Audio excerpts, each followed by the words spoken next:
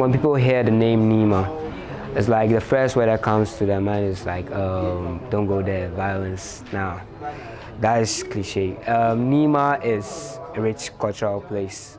So even though we have the bad stuff, we also have the good and best stuff in the uh, Nima. And also uh, cameras per se, they show, they show us the true nature of people sometimes. Like per se, I want to show some people in another country how uh, the market people sell their stuff on the market day like Wednesday. I can use a camera, a portable camera, then go take uh, pictures, then interview people, then show them the culture of Nima and I can just post it or send it to a friend through Facebook, then we're done. I'm a shy person, so whenever the camera comes, I just run off. doing this video to send my message across the world uh, about my community. Uh, most people think Nima is full of bad people and so because of that they don't even want to come into the community or do something. But I'm sending this video to tell them we have good people, we have creative, creative people, we have so many, so many things happening in the community. Good framing.